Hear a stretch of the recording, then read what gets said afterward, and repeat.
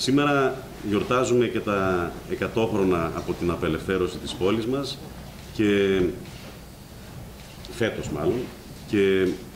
είχα ζητήσει από τον κύριο Χατζάκη που θα χαρούμε πάρα πολύ αν τον δούμε να έρχεται αυτές τις μέρες στην πόλη μας είχα ζητήσει να τιμήσει με κάποιον τρόπο το κρατικό το Φεστιβάλ Φιλίππων και Θάσου ανοίγοντας τις φετινές εκδηλώσεις, κάνοντας την πρεμιέρα. Και ανταποκρίθηκε με πολύ μεγάλη χαρά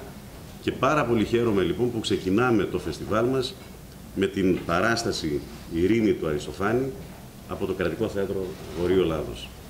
Με μια θαυμάσια, πολυπρόσωπη ε, διανομή σε ρόλους από ηθοποιούς που όλοι τους ξέρουμε και τους αγαπάμε,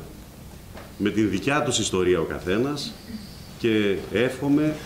την ίδια ιστορία, την ίδια καλλιτεχνική παράδοση να συνεχίσουν και οι νεότεροι που ξέρουμε όλοι ότι αποτελούν ένα σπουδαίο, δυναμικό, ιδιαίτερα ελπιδοφόρο για τον τόπο μας. Θα με επιτρέψετε, αγαπητοί φιλοξενούμενοι, να εξάρω ιδιαίτερα εδώ την παρουσία όλων αυτών των παιδιών, των νέων, των εθελοντών μας που βοηθάνε τον Δήμο, που ε, μειώνουν το κόστος του φεστιβάλ μας, παράλληλα όμως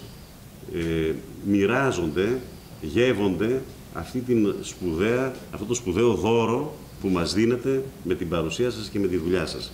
Είναι πάνω από 130 νέοι και μεγαλύτερης ηλικίας βέβαια από τα παιδιά που βλέπετε σήμερα εδώ, ε, όλοι όμως με διάθεση να προσφέρουν ε, στην, στον τόπο μας αλλά και στην θεατρική μας παιδεία.